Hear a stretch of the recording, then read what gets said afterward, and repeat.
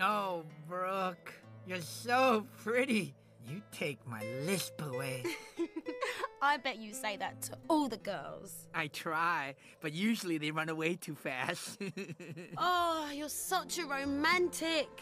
Hey, I know this is gonna sound super forward, but will you be my mate for life? oh, Brooke, I, I don't know what to say. It's, it's only been 12 minutes. What took you so long? Yes! This has been the best last day on Earth ever! a diamond! I need a diamond! Where can I find a... Oh, perfect! No, no, no, Sid, sweetie, don't do that. Nonsense.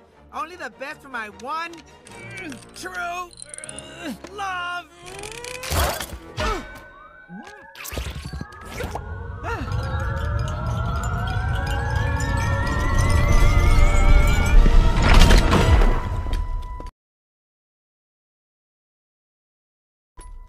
Whoopsies! No! No, no, no! Oh, simpleton! Nincompoop!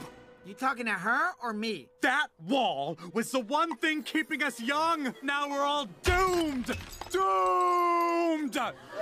and now I think I have a fever. Thank you so much, doofus. Hey, easy there.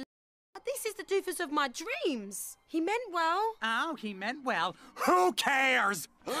So much for serenity. 300 years of peace and harmony undone by one colossally, incredibly, stupendously stupid.